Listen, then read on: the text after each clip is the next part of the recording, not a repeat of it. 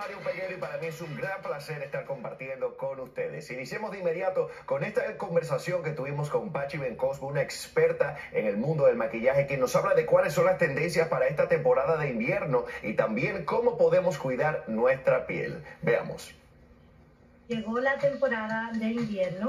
So, siempre recomiendo utilizar colores matizados, no tanto brillo, colores más fuertes, ya que en el verano y la primavera usamos mucho brillo, de glow, esta vez más fuerte. Colores frambuesas, eh, mucho rubor en nuestras mejillas. También sugiero mucho el sellador de maquillaje hidratante, porque en esta temporada tiende el maquillaje a sentirse un poco seco nuestra piel principalmente necesita extra cuidado ahora en esta temporada. Más hidratación, más mascarillas, pero a la hora de maquillarnos sugiero eh, bases de maquillaje más hidratantes. Los hombres tienden a pensar que ellos no necesitan hidratarse la cara, pero para mí, tanto las mujeres como los hombres, todos necesitamos hidratarnos en esta temporada.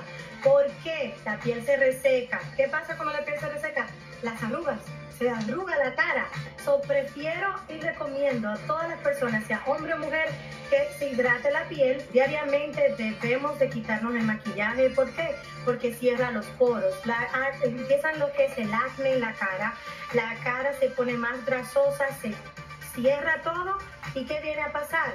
Te daña poco a poco tu grasa de tu cara se te vuelve la cara con más este, acné, se te pone más grasosa, eh, mucho aceite en la cara. Recomiendo quitarse el maquillaje todos los días, tanto mujeres como hombres. Lo importante es la higiene que utilices en tu cara. Recuerda que tu cuerpo es tu templo, tu cara es tu, la cara O sea, tienes que mantenerte siempre hidratado, cuidarte la cara comer bien, porque no importa que tanto maquillaje te pongas, si usted no se alimenta bien y no está en paz y feliz, no vas a irradiar felicidad, no vas a irradiar belleza en ningún lado. Así que yo sugiero que todos, tanto tú como las personas que me están viendo, se mantengan por dentro hidratados bien, sistema inmunológico fuerte, pero felices. al final del día eso es lo que importa, tu felicidad.